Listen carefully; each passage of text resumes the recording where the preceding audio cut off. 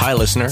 Here at Let's Talk Bitcoin, we're building a global network of correspondents able to contribute on the ground perspective when cryptocurrency related information comes across their filters. If you'd like to join our global conversation, send an email with your name and geographic or cultural niche to apply at letstalkbitcoin.com. Just like Bitcoin, the only barrier to entry is your time and good work. Thanks for listening.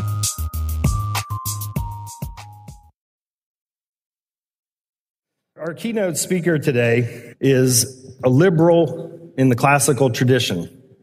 He considers himself to be from the Austrian School of Economics and a leader in exposing Wall Street corruption. He has triple degrees from Dartmouth, Cambridge University, and Stanford University. As CEO of Overstock.com, he took the company from $1 million in revenue to over $1.3 billion in revenue. He is a true pioneer, and he made history in the Bitcoin world when Overstock became the first major online retailer to accept Bitcoin. So, ladies and gentlemen, I would like to take this opportunity right now to introduce our keynote speaker, Mr. Patrick Byrne.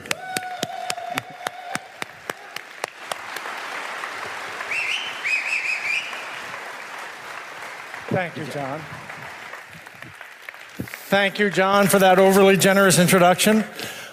Members of the Bitcoin Foundation board, ladies and gentlemen, cryptographers, computer scientists, uh, finance geeks, quants, Austrian ec- economics theorists. Uh, I think there's a, maybe a couple gangsters in the room, journalists who are trying to make sense of it all. It is a surreal honor to be invited to speak with you today, uh, both because of who you are and because this is taking place in Holland, in Amsterdam, in the Netherlands, I should say. Uh, and I would be remiss if I did not take a moment to acknowledge a debt that historians generally overlook in my country, the United States, and in other Commonwealth or in Commonwealth countries, uh, a debt owed to Holland, to the I'm sorry, to the Netherlands, to, uh, and that is the creation myth, so to speak, in the in the United States, is that we had these founding fathers, the Constitution was written, Declaration of Independence those who know something know that though our founding fathers read a lot of an English philosopher named John Locke, who was a social contract theorist, wrote a book called uh, Two Treatises on Government. Uh, and maybe we know that there were these people, the pilgrims, who came to our country with some notions of religious toleration and such. So we see the intellectual history of our country as coming from these two sources. What is generally overlooked in this story is the enormous contribution our hosts the Dutch, uh, made to that process. And it's a, it's a, it's a story that's generally overlooked, but I'll be touching on it later. Uh, so first, I want to thank uh, uh, them uh, for hosting this, and I'll tell you just for a moment. I'll spend a moment about uh, who I am.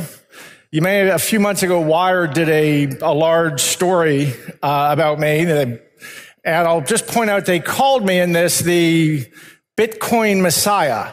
Just to be clear, I'm not the Messiah of anything. And as much as I favor Bitcoin or I love Bitcoin, it's, I'm really a, uh, I'm about the crypto revolution. I'm about the cryptocurrency and other missions for this technology. Uh, I'll also mention that point out I was called the scourge of Wall Street.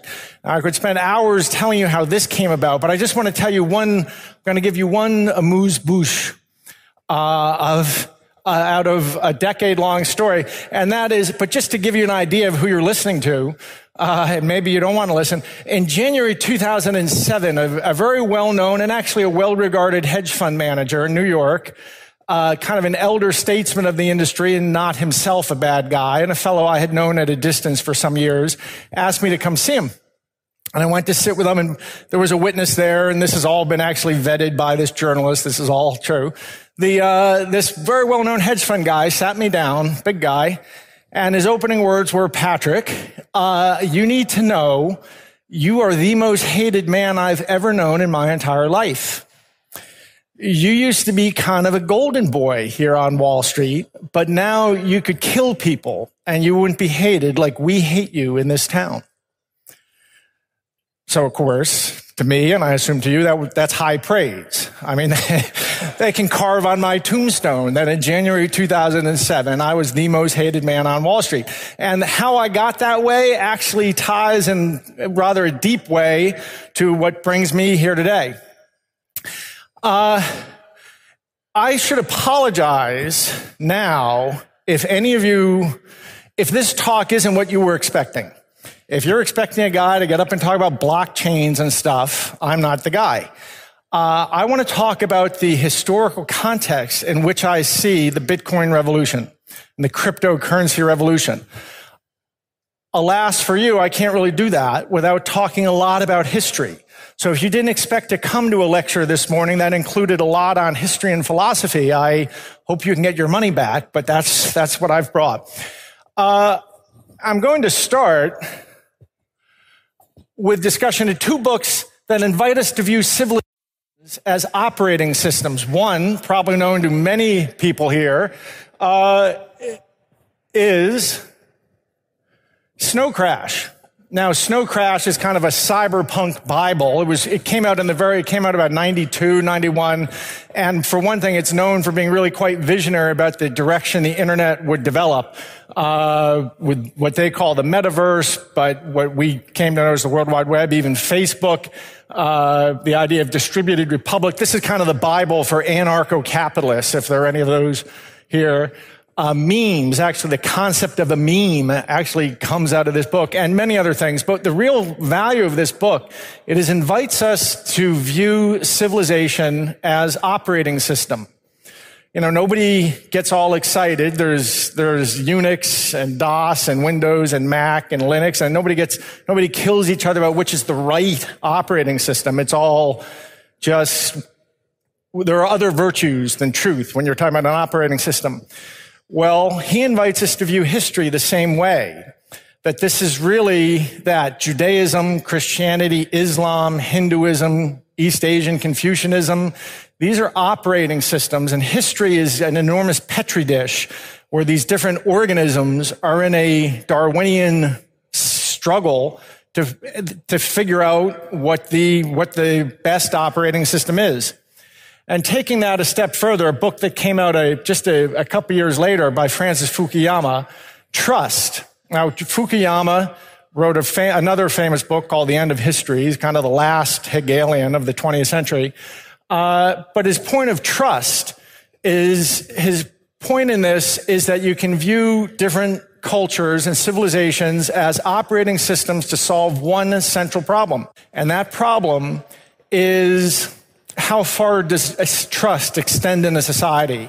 If you're in a low trust society, family based society, China, Taiwan, Italy, you don't his argument is that you don't trust people outside the family, which means that you don't get businesses bigger than something that a family, maybe a large family can run. And that means that you're limited. You give up economies of scale was his argument, as opposed to high trust institution based societies where you can trust outside of your family. You can trust institutions.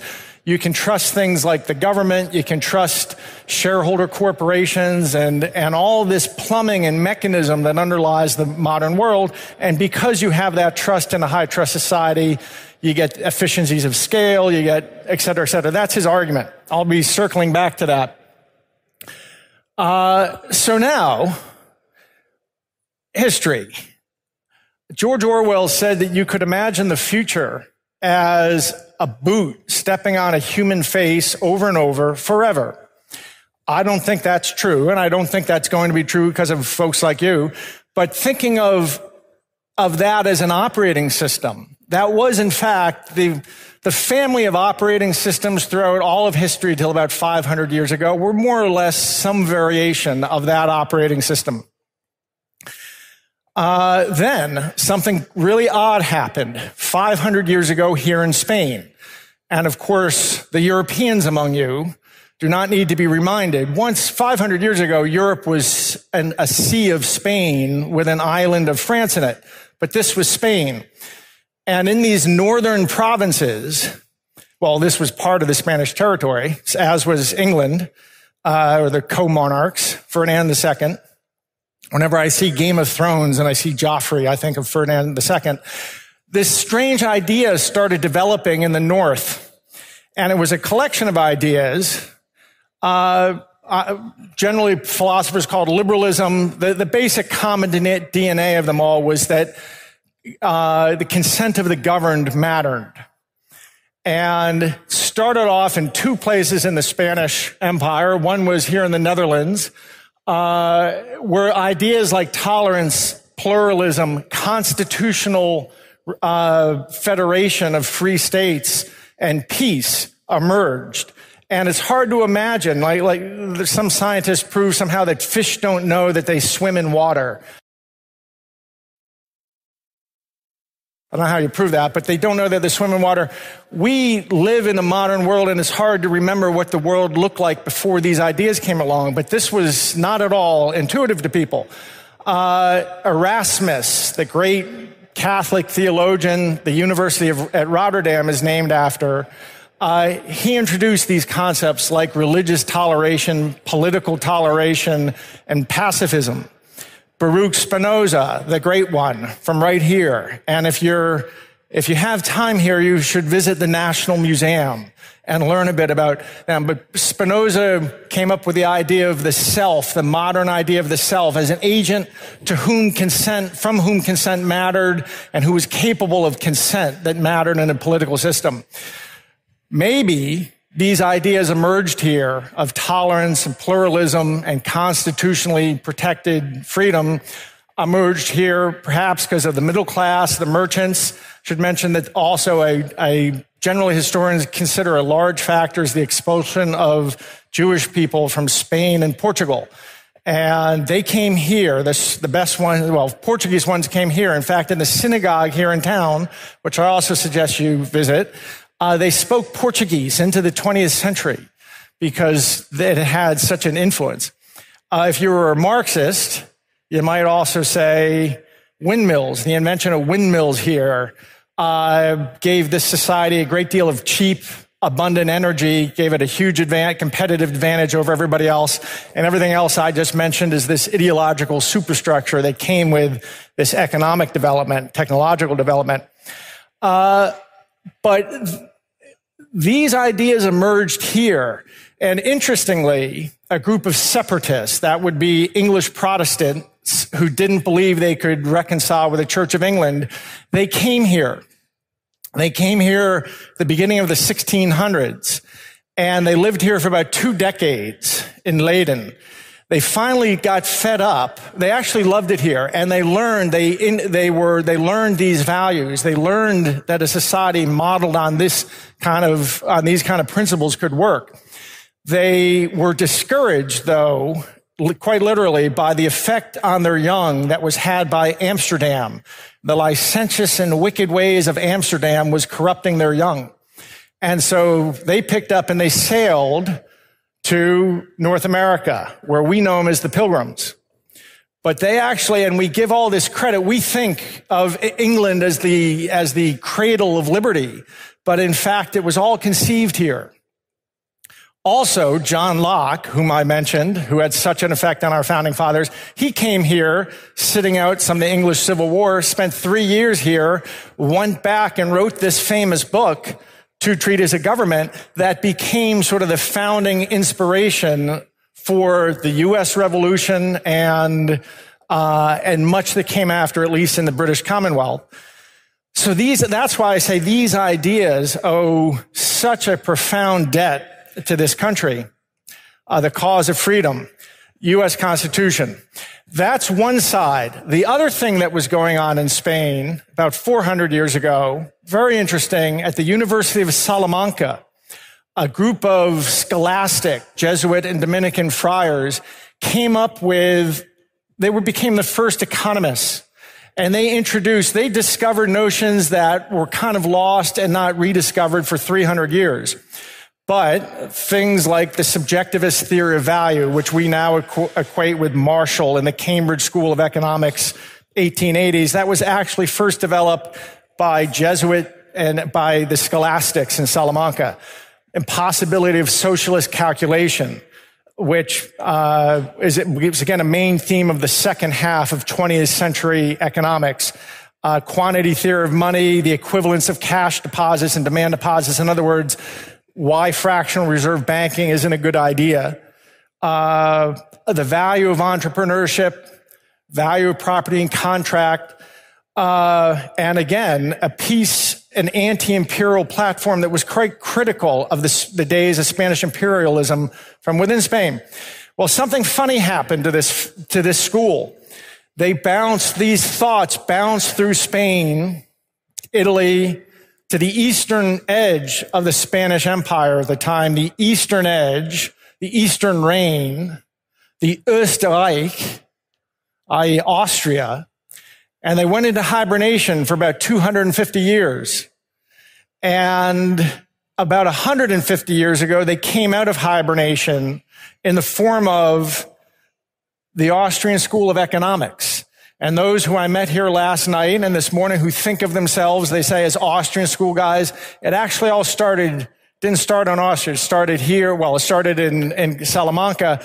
And I consider these two school, I consider these this generally the heart of liberalism, of liberal political philosophy, of of uh, pro pro freedom. I like to I like to call this this way of thinking. Now, I, people always object. Well, sometimes people object to me. Maybe not in this crowd. You can't hijack the word freedom. You can't say you're pro freedom, other people aren't. Well, there are people among us who call in our society who call themselves progressives. And if they hijack the word progress, I think I can hijack the word freedom. This to be understood in opposition to the great philosophical mistake. And this all circles back in one more slide, I promise. It circles right back into Bitcoin and what you're doing.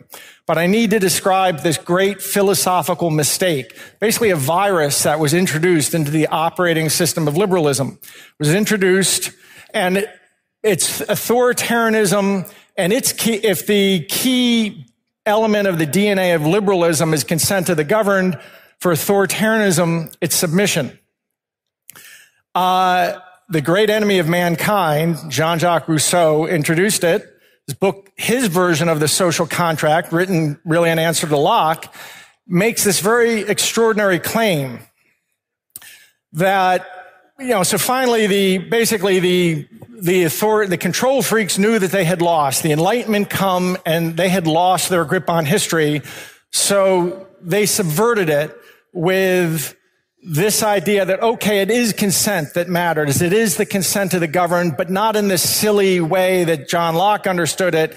We, intellectual French, understand it in a much deeper way. I, Jean-Jacques Rousseau, understand that there is something that he terms la volonté générale, the general will of the people. And that is important. That is what matters, but it's not to be determined by silly voting or something that in fact, there may only be one person among us in a nation who understands what the real will of our people is, what the real will uh, of the nation is. And that, that person is the sovereign has no need to give no, give no guarantee to its subjects, no constraints. There need be no constraints on it.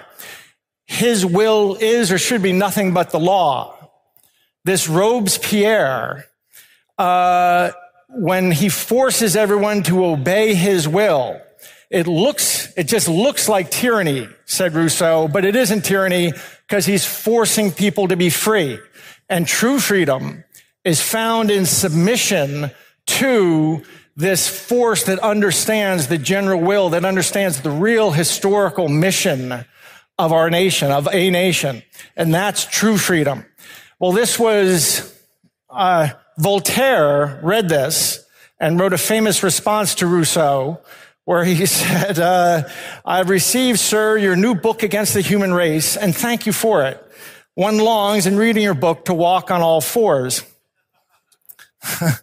I love Voltaire. Bertrand Russell was once asked, did he have a Bible? And he said, yes, I keep it over there under my Voltaire. So Voltaire was correct, but unfortunately he didn't win the day. This became a really dominant strain in our, in modern political philosophy, starting with Rousseau, led to Kant, who, you know, Kant was a pietist working away in Königsberg, famously never left the city. In his bare pietist study, he had one adornment, a, a, a, uh, a portrait of Jean-Jacques Rousseau.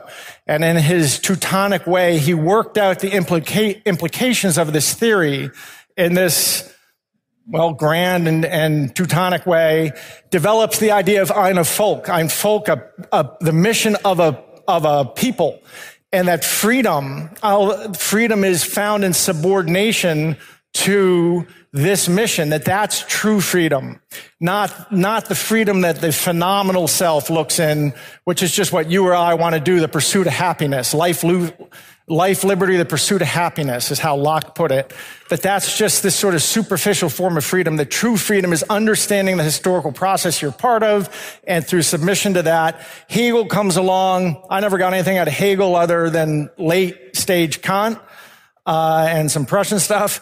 Uh, Marx, who takes Hegel and says famously, I'm going to take Hegel and turn him over and stand him on his feet, meaning he's going to take all the dialectic of Hegel, but apply it to economics. And this is the real historical process that matters, that mankind has a story.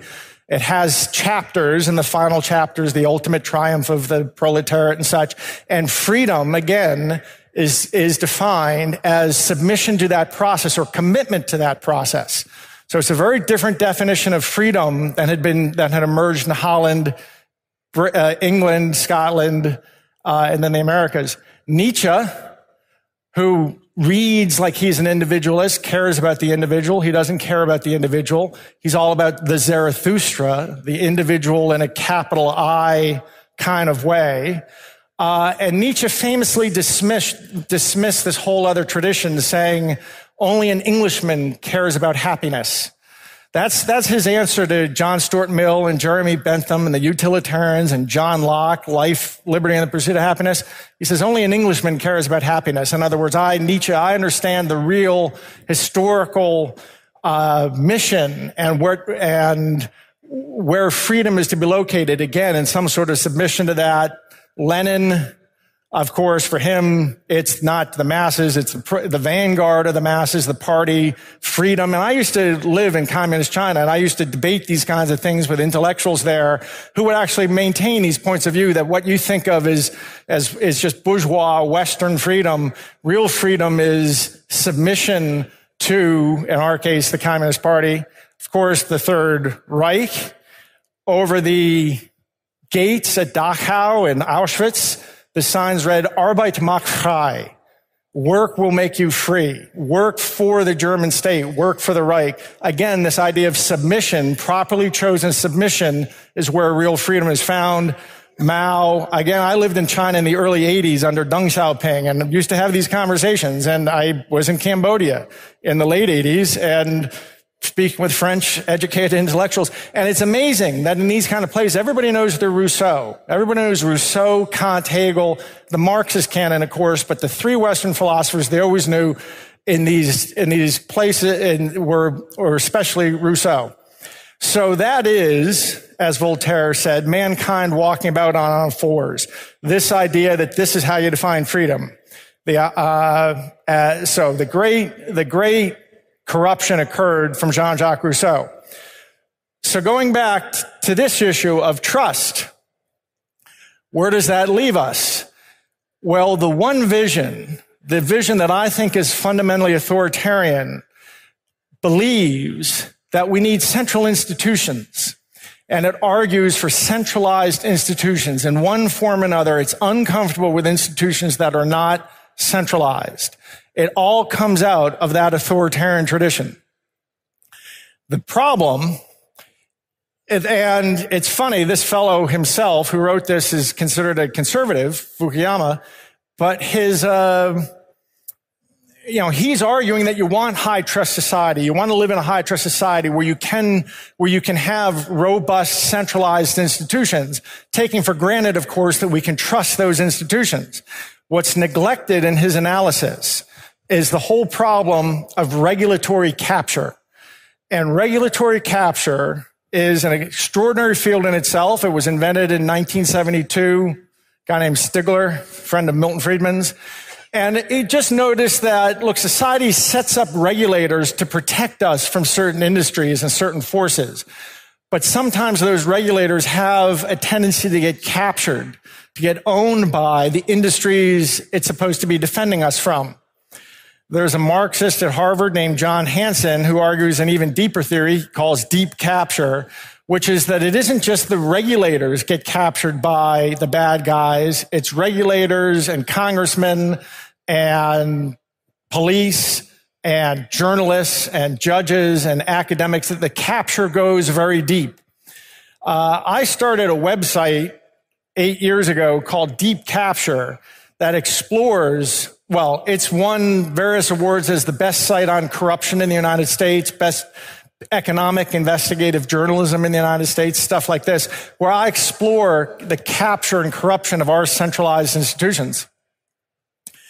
The great problem comes down to if I'm right and that there is more capture occurring than is sort of generally recognized, what happens is what John Kenneth Galbraith called the bezzle.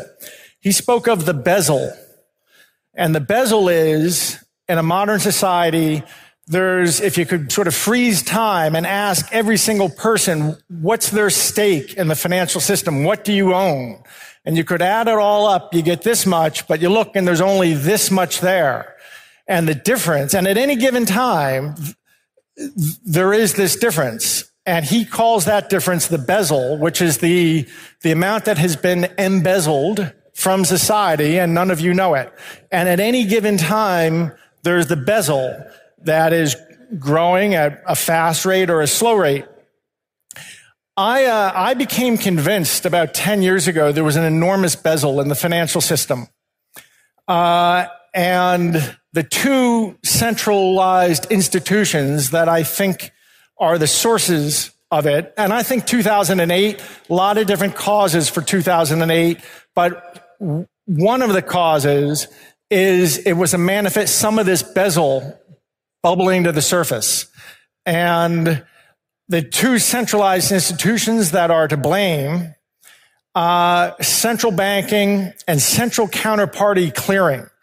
And both of these central bank, uh, the reason I'm so committed to Bitcoin and crypto is because crypto can solve the problem that both of these organizations are presenting to society. In the case of central banking, it, it, it, follows once you have fractional reserve banking, and fractional reserve banking started, was legalized in 1844, Robert Peel in, in the UK. By the way, there's a wonderful Spanish economist who writes about the Austrian school and central banking that people here maybe like. His name's Jesus Huerta de Soto, and he's written on the subject. But anyway, the, the once you have fractional reserve banking, you're always going to have the elites who own the banks over leveraging themselves. And they over leverage themselves in one way or another. They go kaput. They need a bailout. They need a lender of last resort. Once you have a lender of last resort, you have somebody who thinks you have a, a, central bank and they think they can start directing and guiding and fine tuning the economy, the tinkerers. There's a fellow at London School of Economics who refer, who says their vision is the economy is an enormous engine and they're like a workman with a screwdriver and they think they can just fine tune it and get it just right. And that's their, that's their vision. The problem is, the problem with this way of viewing the world is we laugh at the Soviet Union, those of us old enough to remember it, for trying to run a country with, without prices, without real prices. They had 23 million prices being set by apparatchiks in a bureau in Moscow called Gazprom or Gazprom or something that, uh, Gosplan, that they set 23 million prices, the, how much the screws cost that would go in this bracket, that would hold, go in this bookshelf, 23 million prices for everything in society being set by apparatchiks. And we say, oh, how ridiculous. What a crazy way to try to run a country. But in our society, the most important price we face is the price at which we discount the future against the present, which is to say interest rates. And interest rates are being set both in Europe and the United States in central institutions called central banks with names like the Federal Reserve of the United States. That's, it's, you know, we laugh at the Soviets for it, but we're doing it with the most important and fundamental price in our society. Central counterparty clearing. This sounds so dull, but it is, I think, an enormous opportunity for you cryptos here, for Bitcoin or some Bitcoin like technology to emerge. This is what I'm talking about. There's a, uh, when you watch a movie, you're not conscious of the grips and the gaffers and the lighting guys and such. You watch the movie. When you trade in the stock market, it's the same thing. You don't, you know, you just assume underneath at all. There's some plumbing that makes everything work. So when you buy 100 shares of IBM, it's getting your account, so forth. Well, starting about, we went public in 02, our company. And when you're a public company CEO, you're out there in the mix. We're, I'm out there with hedge fund guys, prime brokers, banks, all these kind of people.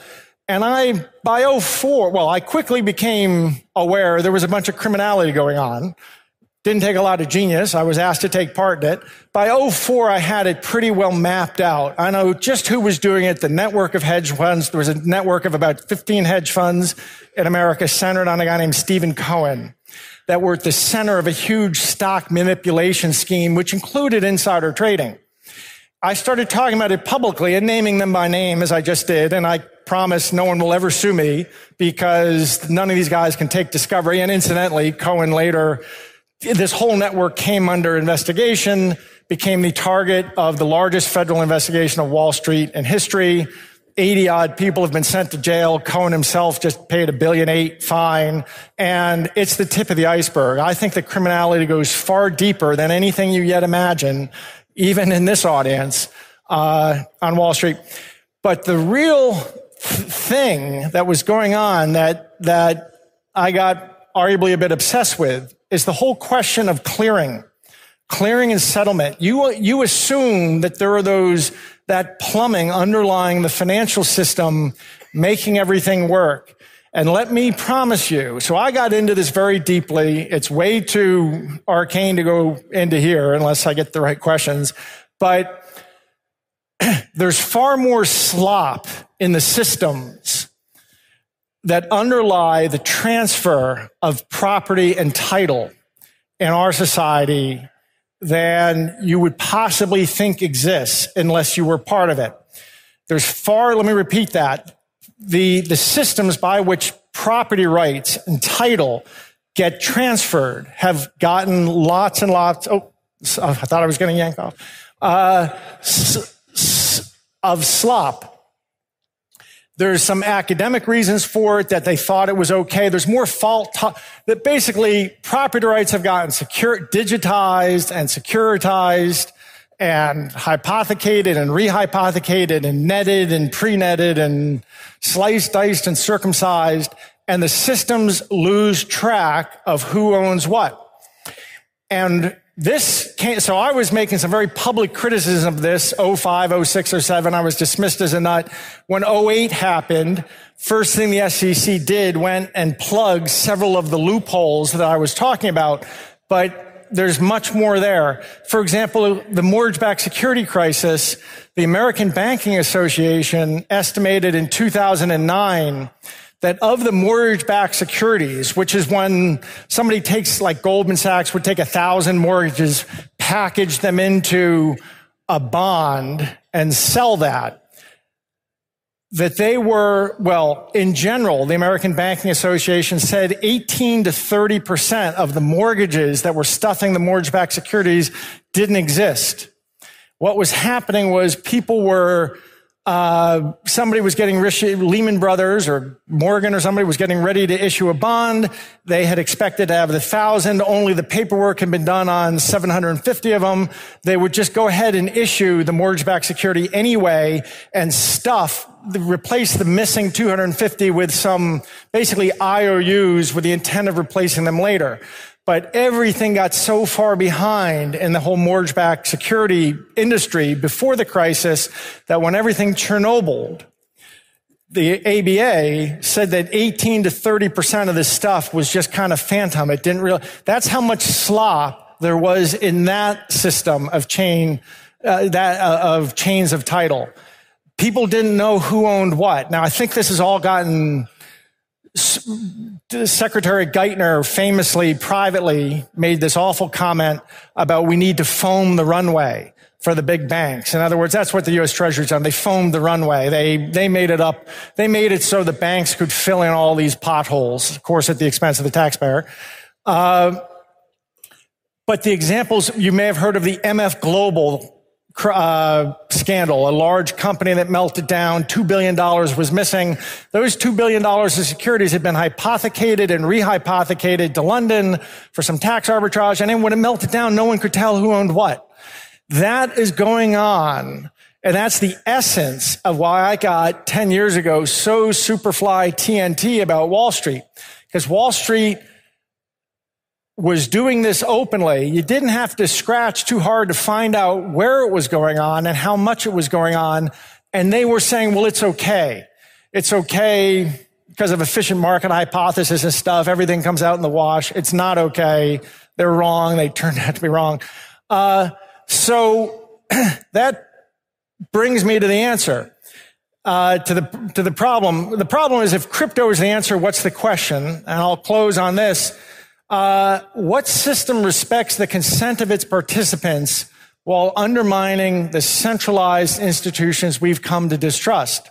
To me, it's the technology that's being built here by people like you, which I see as the fruition of this 500 year old effort that started right here in Amsterdam. So, thank you for your attendance. Hope you have a good conference. I'd love to take questions.